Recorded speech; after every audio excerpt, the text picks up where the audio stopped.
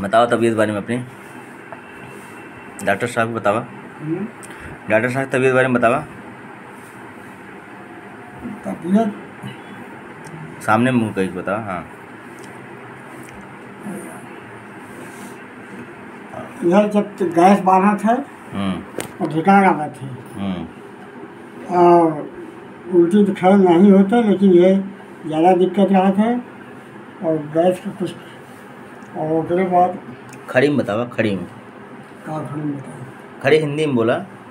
पानी कौन खा लिया पानी कौन खा इसे बम्बैया में बोला थी। आता है सांस फूल सांस फूल फूल जाते जब तक। हम्म। पहले से अच्छा है ना? पहले से तो ठीक है। चल लेते ना? हाँ चल थी बैठने में बैठ के उठने में थोड़ा तकलीफ़ पड़ता है कमज़ोरी है।